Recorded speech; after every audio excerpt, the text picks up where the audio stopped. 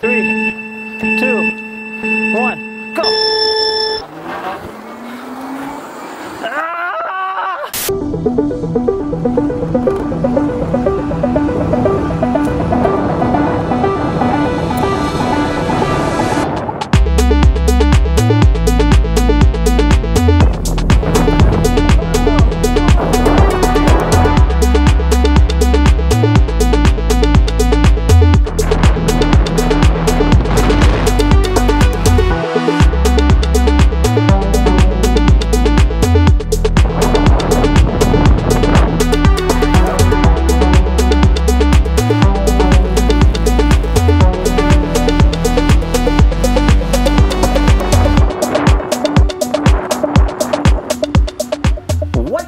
When you combine an electric motor with a bicycle?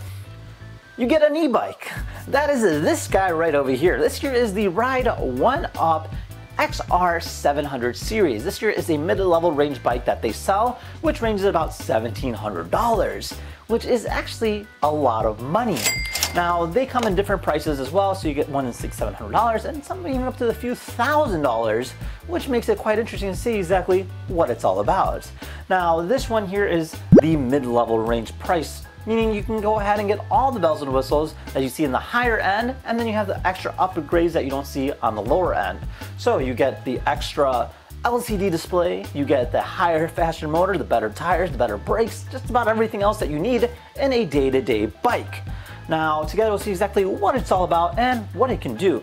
So, without further ado, let's go ahead and get started. All right, so this here is our bike.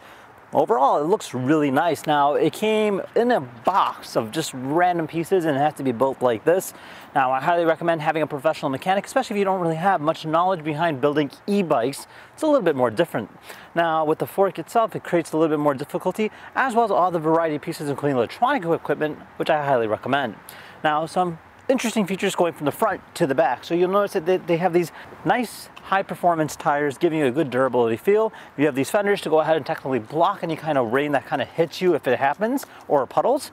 Uh, you have a light here on the front as well as a locking mechanism to go ahead and tighten the suspension to go ahead and prevent any kind of recoil or go ahead and increase the recoil if you're going over bumpy roads like gravel. Now over here you do have a full LCD display which allows you to go ahead and control the speed as well as the pedal assist mode.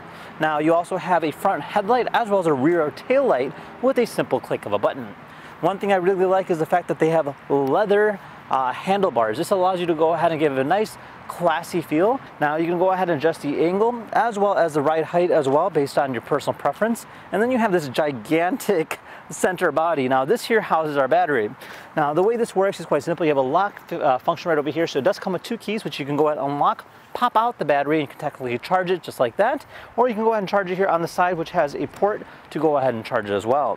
Now on the back here you do have some bungee cables allow, uh, mounted onto a bracket here so you can technically go ahead and mount a variety of different things for your leisure so you can go ahead and put your work stuff or your school stuff, whatever you need right there, and you can use it that way.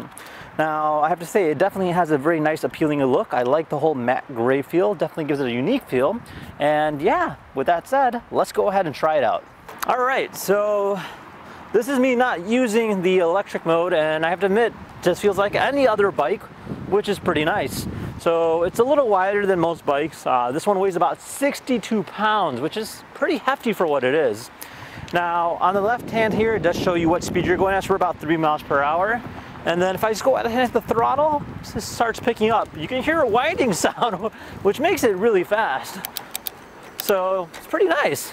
Um, now, these here have the Moto X tires, which are pretty good tires for speeds. So literally, if I just go ahead and hit the throttle,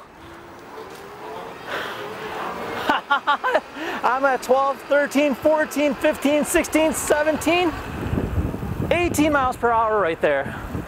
So you can tell that it's definitely picking up speed quite some well. So let's see if we can go and try that one more time. Throttle, and we're at 800 watts of power, 806 watts of power at 15 miles per hour. All right, coming up a turn, so it's gonna slow down just a little bit here using the rear brakes. There we go. All right, so we're gonna go and set up a quick little drag race over here since actually have our cameraman here, Mebo, on a Go-Kart Pro. This year's the Ninebot Go-Kart Pro. I'm gonna do a quick little run and see who's faster. Three, two, one, go. Ah! Ah, you won.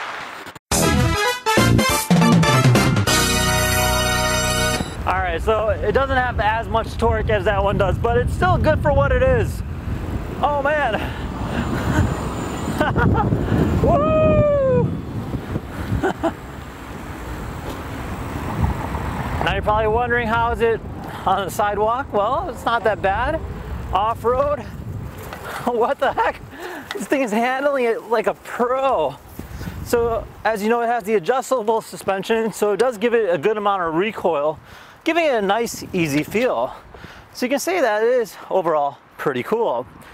All right, well, there you guys have it. I hope you guys enjoyed this video. Overall, I have to say it's actually a very nice bike, definitely great for your daily commuter, especially if you're going on long distances. Now, if you had any questions about this particular bike, feel free to comment down below. Otherwise, thank you again for watching. We'll see you guys next time. Take care now. Bye-bye.